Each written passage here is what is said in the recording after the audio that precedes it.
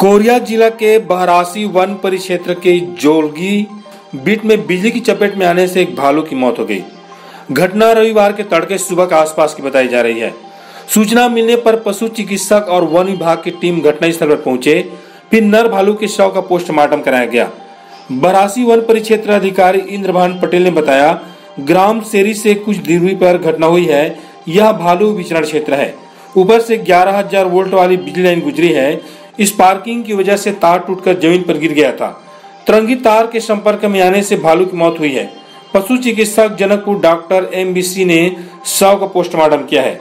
स्थानीय जनप्रतिनिधियों एवं ग्रामीणों की उपस्थिति में शव का पोस्टमार्टम कर अंतिम संस्कार किया गया है।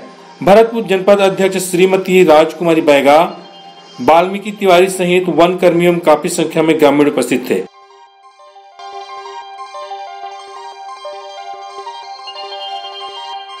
छत्तीसगढ़ की सभी खबरें देखने के लिए देखते रहिए छत्तीसगढ़ एक्सप्रेस न्यूज़। सब्सक्राइब करें और बेल आइकन दबाना ना भूलें।